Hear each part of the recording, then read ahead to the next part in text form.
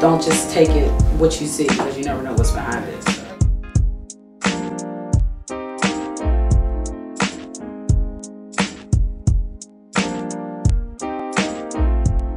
My name is Syreeta Martin, and I'm a sophomore junior, major journalism concentration in magazine, 20 years old.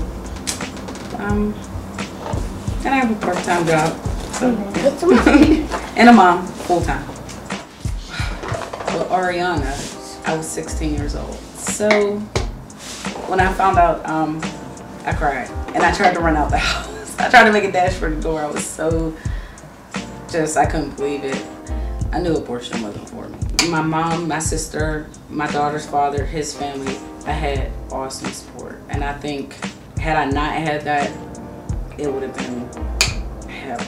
Gabrielle will be two months in less than a week. And Ariana is three years old. She's a daddy's girl to, the fullest. He's always been involved with her. Um, he sees her throughout the week, weekends. They have a close relationship. So he's always helped out and, and been there. I, I've always felt like, as far as that, we were a team. We're not together now, but we're still the best of friends. It's not like a, a bad relationship or anything. The only thing that really changed was instead of going straight to college, I had took a year off. And other than that, I didn't, still made it to college, which was my end goal. I wanted to go to Temple, so I still got to have my dream. My first year, um, it had got so bad, it was to a point where it got down to, when it came to, to eating, or a meal, it was like either she eats or I eat. And of course she's got to eat. So there were a lot of nights where I went to sleep hungry. Like I just had to do that. It was the worst. I, I mean, like I was so stressed out.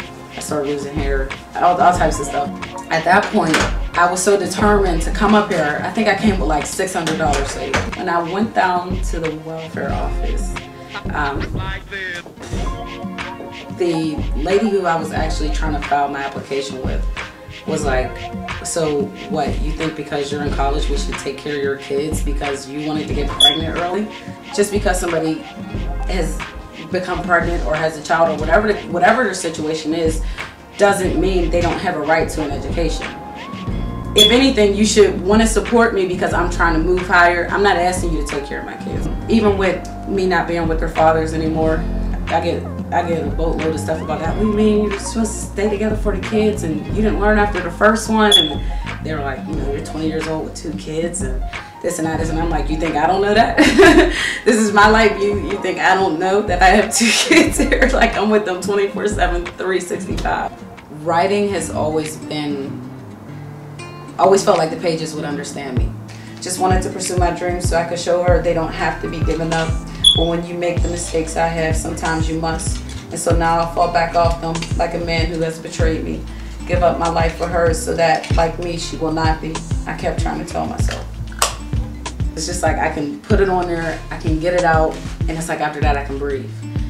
Whatever decisions I made in my life, I'm living with them. And I'm quite happy where I'm at. I don't regret anything. I take everything as a learning lesson. So now, yes, I think I've got it in my head now. you know, I've, I've learned it now, but I always say you just do it. You know, if you think too much about it, it becomes so real to the point where it can almost cause you to crumble. So time management is everything. So Monday, Wednesday, Friday, I'm in class from 9, well Monday and Wednesday, 9.40 to 1 p.m. and then Friday, 9.40 to 11.30 a.m. Tuesdays and Thursdays, no classes, and I only work from 4 to 6 p.m. Saturday, one class from 12 p.m. to 3 p.m. and then I don't work on the weekends.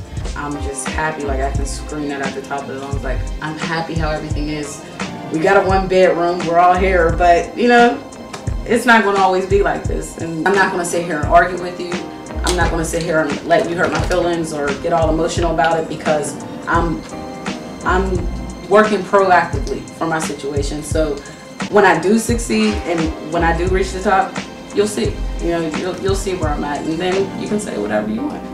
Know, that's that's how I look at it. I know I'm not going to fail. I can't afford to fail, so I just take it in stride.